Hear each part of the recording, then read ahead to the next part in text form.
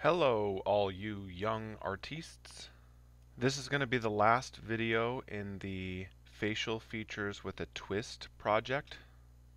And my purpose for this video is to focus on shading tips and techniques and to uh, just demonstrate how I'm choosing to shade this artwork so that you can gain maybe some inspiration or some perspective on how you can shade your own artwork. I'll tell you right off the bat that I didn't end up finishing this artwork, unfortunately. I messed it all up at a certain point and got paint all over it. So this is a partial video of the shading process, but it still gives you an idea of what I was shooting for. To shade this artwork, I'm using just a normal number 2 pencil. I'm not using a mechanical pencil because I'm not focusing on things like cross hatching or hatching.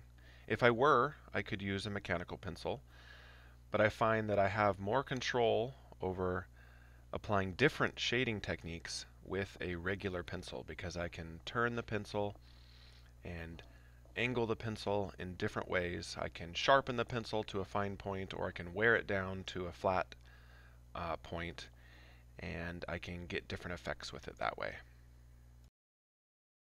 As you can see, I've started with the night sky inside the mouth and I'm just kind of blocking out all of the dark areas. I'm not necessarily going as dark as I will go eventually. And you can also see that I can use my eraser to go back in and draw with the eraser. I decided to add some like flashes of light, lines of light. And the process of drawing is often like that. It's very common to be going back and forth between using the pencil lead and the eraser to draw and shade. The eraser is equally important tool for shading. You can blend with it, you can bring out highlights with it. Oftentimes when I'm teaching shading, I will focus a lot on trying to control your shading to create smooth shading. But, which is a really great skill, by the way. But, in reality, most of the things that we shade are going to have some kind of texture to them. They're going to have um, a surface quality that is not completely smooth. And so we actually want to use our shading in different ways um, with different lines and marks to create the different surface qualities of the objects we're shading, the different textures that they have. They shouldn't all look the same. They shouldn't all be smooth because that's not how things are in the real world. And giving things different textures creates variety, which is nice and exciting to look at in artwork.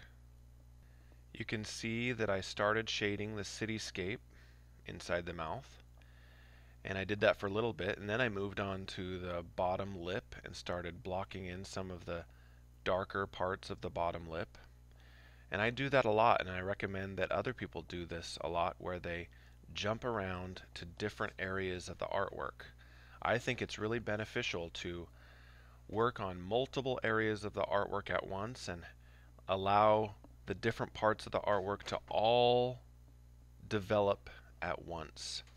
If you completely finish an area before you've even started other areas, then you really don't get a chance to see how those areas are going to look together.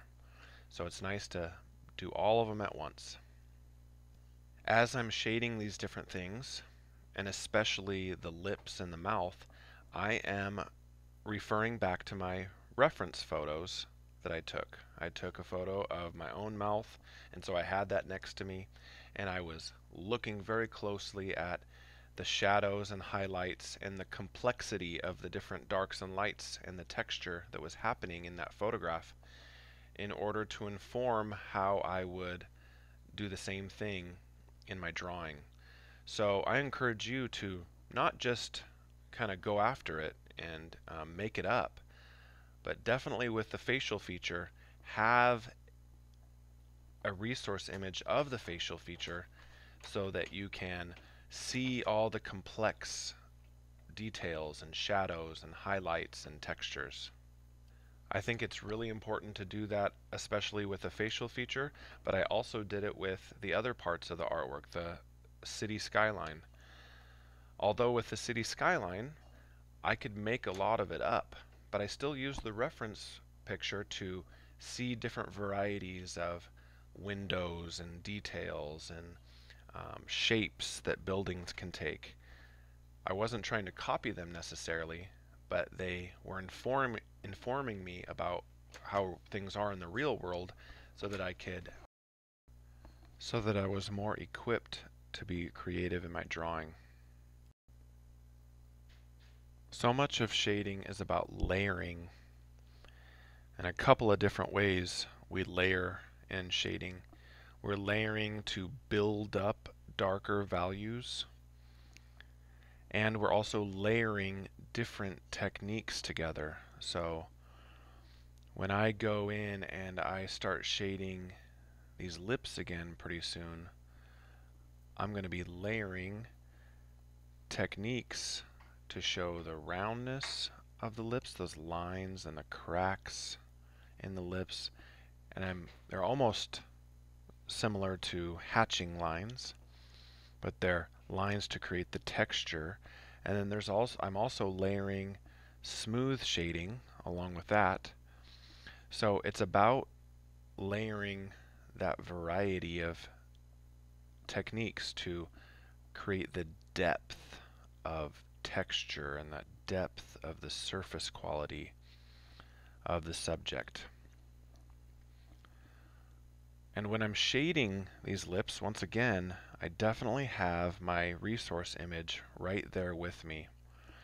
If I didn't have some kind of resource to look at, I would just be making it up and I wouldn't I wouldn't know where these complex shadows are, where these complex highlights are and how they work, how the lighting is hitting the object.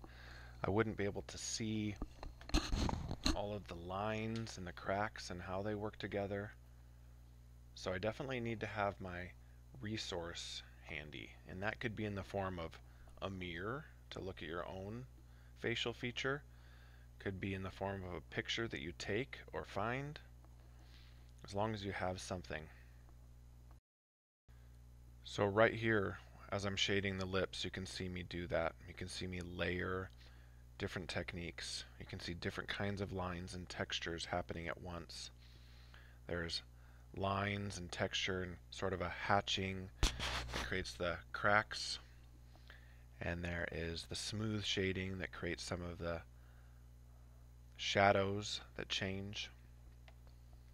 And then it's also layering in the sense that I have to continue to add value in order to make certain areas dark.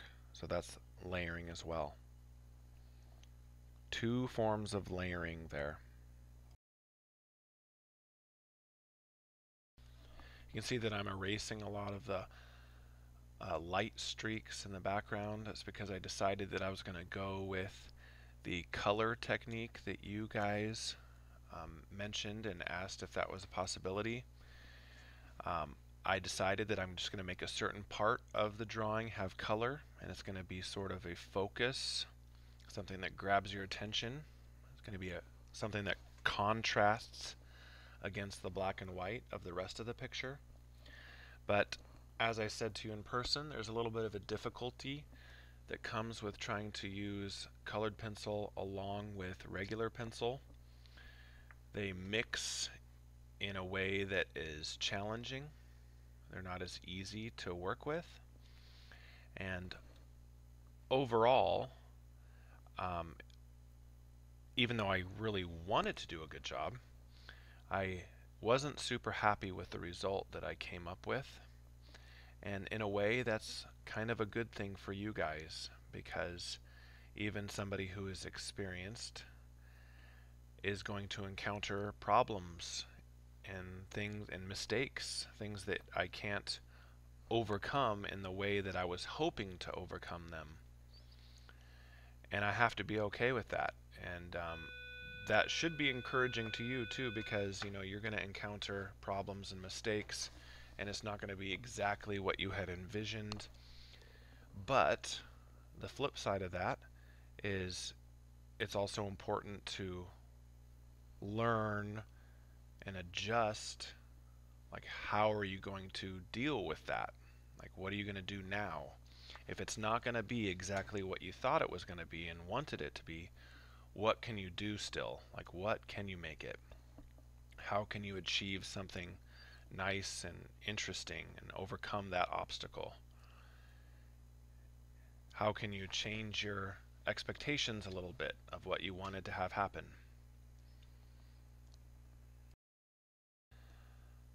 I started making another mistake here.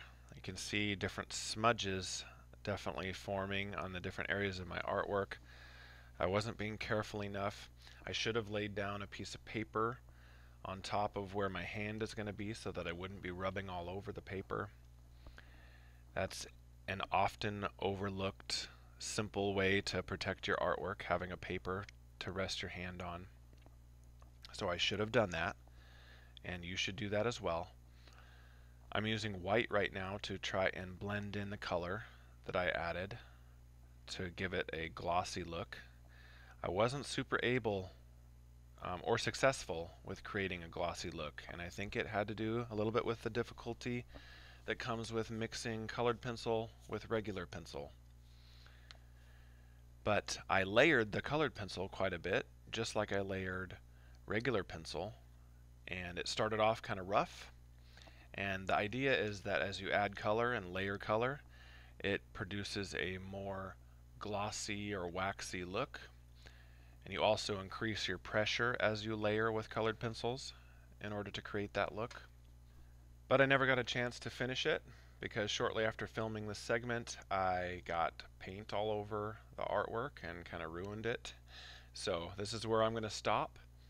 I hope you can find some tips that can help you with your artwork in this video. Good luck.